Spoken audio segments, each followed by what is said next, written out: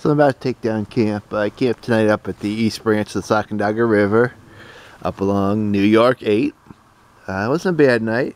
I was going up to Moose River Plains last night, but I was just too dog tired to go out, drive all the way up there. So here's my camp for the night. It wasn't bad. It's a very narrow road, and we're just off eight, Route 8, so it was noisy.